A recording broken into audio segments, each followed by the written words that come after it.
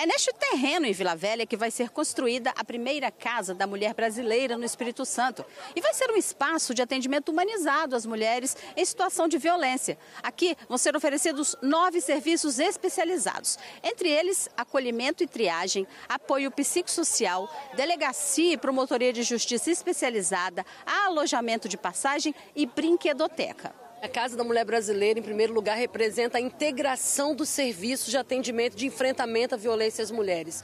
É quando a gente integra o Ministério Público, o Tribunal de Justiça, a Defensoria Pública, o Estado, o município com acolhimento, tem um grande condomínio de serviço para atender as mulheres e que, futuramente, nós podemos também colocar qualificação, profissionalização, serviços que atraem essas mulheres de alguma forma, inserem essas mulheres no mercado de trabalho, que também é uma forma de reduzir reduzir as violências. Nós entendemos que as mulheres vítimas de violência doméstica precisam serem acolhidas para terem seus direitos preservados para que não possa acontecer um feminicídio. E hoje nós estamos dando um passo gigantesco na cidade de Vila Velha para que a gente possa proteger as nossas mulheres. Esse apoio, ministra, também é importante para que a mulher denuncie, porque muitas vezes ela não tem para onde correr e essa casa vai ser esse apoio para ela? Sim, porque ela tem os nove serviços, ela tem um abrigamento provisório de 48 horas, que é o tempo da equipe de apoio psicossocial ver se encaminha ela, se a polícia tira o agressor do lar. Então é o tempo necessário para ela ter segurança para voltar para casa.